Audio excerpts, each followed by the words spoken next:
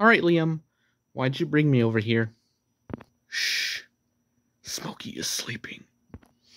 Yeah, that's right. Draw me like one of your French girls, Carmelita Fox.